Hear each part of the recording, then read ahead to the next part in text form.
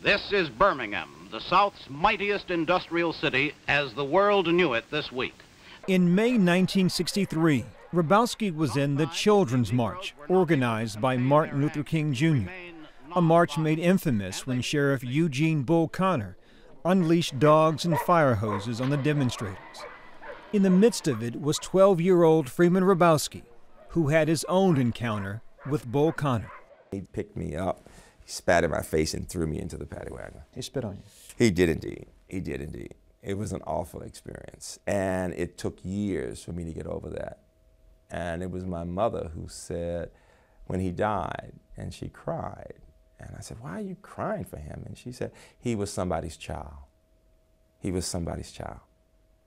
And uh, I remember we had a special moment together, and it was a cathartic experience for me to put all of that in perspective that we all are the products of our childhood experiences.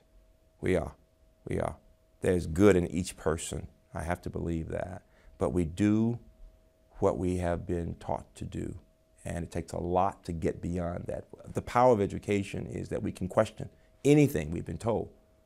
We can ask, is this the right way?